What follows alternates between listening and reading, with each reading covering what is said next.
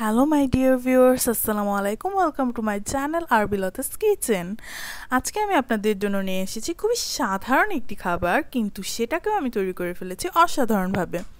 তো এখানে আমি দুই ধরনের ডিম, যেটাকে ডিম ভাজি বলে, সেটাকে তৈরি করে দেখাবো। আপনাদের মধ্যে থেকে অনেকেই আছে যেটা ডিম ভাজিটা প্রপারলি হয় না, ভিতরে কাঁচা থেকে যায়, অনেক সময় ভেতরে অনেকটা তেল থেকে যায় টেস্টটা খুব একটা ভালো হয় না। তো আপনারা দেখতেই পাচ্ছেন আমার এর ভেতরে কোনো কাঁচা নেই।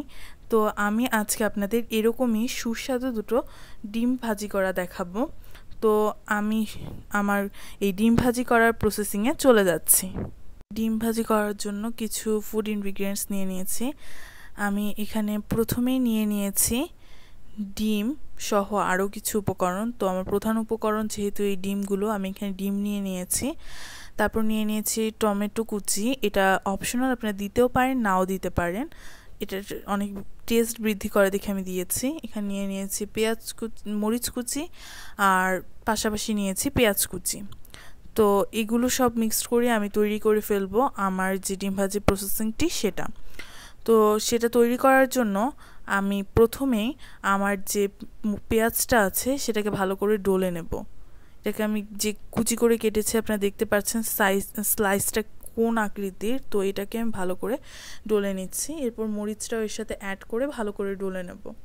এটাকে খুব একটা আস্তে আস্তে দেওয়াটা ঠিক হয় না, যাতে মরিচের ভেতর থেকে ঝালটা বের হয়ে আসে। এজন্য আমি ভালো করে এটাকে আমরা যে ভর্তা তৈরি করি সেইভাবে ডলে নিলাম।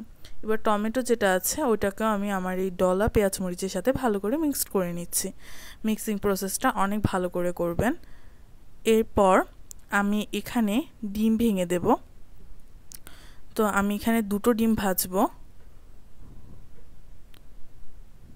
আমি এখানে দুটো ডিম ভেঙে নেব আর এই দুটো ডিমই আমি ভেজে নেব।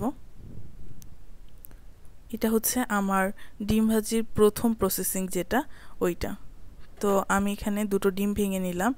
এখন আমি এইগুলোর মধ্যে সামান্য পরিমাণে একটু লবণ অ্যাড করে দেব। তারপর আমি এটাকে খুব ভালো করে মিক্সড করে নেব। খুব ভালো করে এটাকে মিক্সড করে নিব। তো আমার মিক্সিংটি খুব ভালো হতে হবে। যেহেতু এখানে অনেকগুলো ফুড ইনগ্রিডিয়েন্টস যোগ করেছি, তো আমার মিক্সিংটি হয়ে গেছে। এবার এটাকে আমি গরম তেলের মধ্যে ভেজে নেব। তো আমি এখানে তেল গরম করতে দিয়ে দিয়েছি, আমার তেলটা গরম হয়ে গেছে। আপনারা খুব একটা হাই হিটে ডিমটা ভাজবেন না মিডিয়াম হিটে ডিমটা ভাজবেন। আর লো হিটে ভাজলেও একটা প্রবলেম আছে, তেল ভেতরে বেশি চলে যায়। তো আমি এখানে মিডিয়াম হিটে আমার ডিমটাকে ভেজে নেব। তো আমি দিয়ে দিয়েছি আমার ডিমটা কড়াইয়ের মধ্যে।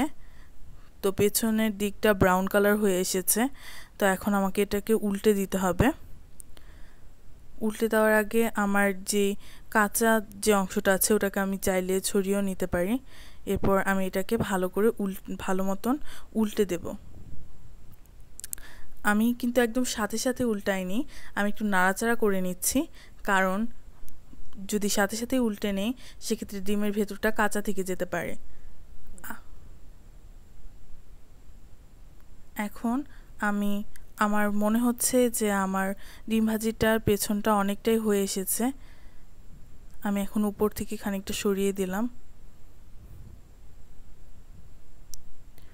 এই টমেটোটা ইউজ করাতে আমার ডিম ভাজার কালারটাও অনেক সুন্দর হয়েছে আর খেতেও খুব সুস্বাদু হবে। এখন আমি উল্টে দিয়েছি, আপনারা দেখতেই পাচ্ছেন। আমি কতটা সময় নিয়েছি আমার এই ডিম ভাজার প্রথম অংশটাকে উল্টানোর ক্ষেত্রে।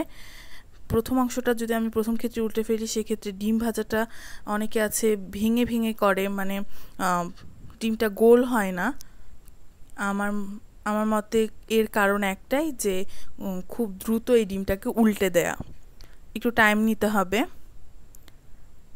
আমি একটু বেশি ভাজা খেতে পছন্দ করি, তাই আমি একটু বেশি টাইম নিয়েছি। আপনারা চাইলে আর একটু কম সময় নিতে পারেন, কিন্তু খুব কম সময় নেবেন না। সেক্ষেত্রে ডিমটা ভালো করে ভাজা হবে না। তো আপনারা দেখতেই পাচ্ছেন আমার ডিমটা অলমোস্ট ভাজা হয়ে গেছে। এখন এটাকে তুলে নিতে হবে আমাকে আমার সার্ভিং ডিশে তো এখন আমি এটাকে তুলে নেব। আমি তুলে নিয়েছি। তো আমি যেহেতু দুটো ডিম ভাজা দেখাবো, আমার প্রথম ডিম ভাজাটা হয়ে গেছে। আপনারা দেখতেই পাচ্ছেন কত কালারফুল হয়েছে। কারণ আমি এখানে টমেটোর স্লাইসগুলো ইউজ করেছি। আপনারা এটা চাইলে নাও ইউজ করতে পারেন। তো আমার এই ডিম ভাজিটা হয়ে গেছে। এখন আমি আমার যে নেক্সট ডিম ভাজিটা আছে, ওই প্রসেসিংয়ে চলে যাব। তো ওই প্রসেসিংয়ে যাওয়ার জন্য আমি এখানে কড়াইয়ে তেল গরম করতে দিয়ে দিয়েছি। এরপর এই যে ডিম ভাজিটা, এটা আমাদের হাতে কম সময় থাকলে অতি দ্রুত আমরা এটাকে তৈরি করে ফেলতে পারি। আমার মনে হয় ডিমটাকে কাঁচা খাওয়া ঠিক নয়। তাই আমি এটাকে দেখাচ্ছি কীভাবে করতে হবে। তো আমি এখানে ডিমটা পোস্ট করব, বাট অর্ধ সিদ্ধ করব না। আমি এখানে সম্পূর্ণরূপে সিদ্ধ করে নেব। তো আমি কড়াই দিয়ে দিয়েছি আমার ডিমটাকে। আমি আগের বাড়ি বলে দিয়েছি, একটু টাইম নিতে হবে। আপনারা টাইম নেবেন। আগেই উল্টে দেবেন না। সেক্ষেত্রে পিছনের সাইডটা খানিকটা শক্ত হয়ে যায়। যাতে করে স্বাভাবিকভাবেই আমাদের ডিমটা ভেঙে যাওয়ার যে ভয়টা থেকে যায় সেটা আর থাকে না। তাই আপনারা একটু টাইম নেবেন টাইম নিয়ে তারপর উল্টে দেবেন। সেক্ষেত্রে আর ওই প্রবলেমটা হবে না। আমি এখানে এক চিমটি পরিমাণ লবণ দিয়ে দিয়েছি।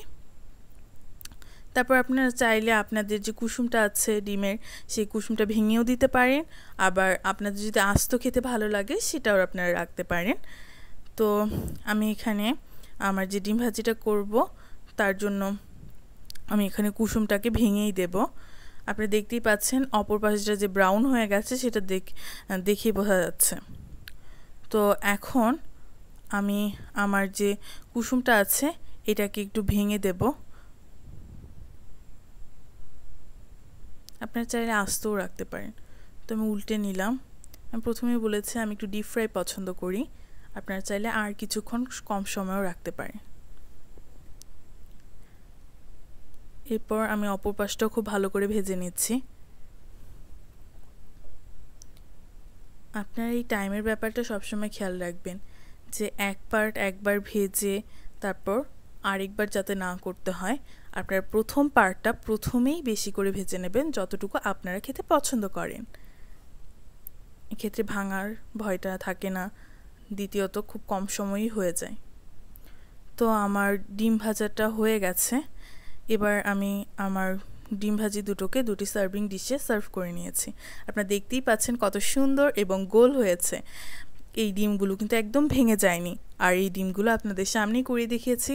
আর আপনারা প্লিজ আমার রেসিপিটি ফলো করে বাসায় এভাবেই ডিম ভাজিগুলো করে দেখাবেন। তো আমার এই রেসিপিটি যদি আপনাদের ভালো লেগে থাকে, তাহলে প্লিজ লাইক কমেন্ট আর শেয়ার করতে ভুলবেন না। আমি কেটে একটু দেখিয়ে দিচ্ছি যে আমার ভেতরটা একদমই কাঁচা নেই।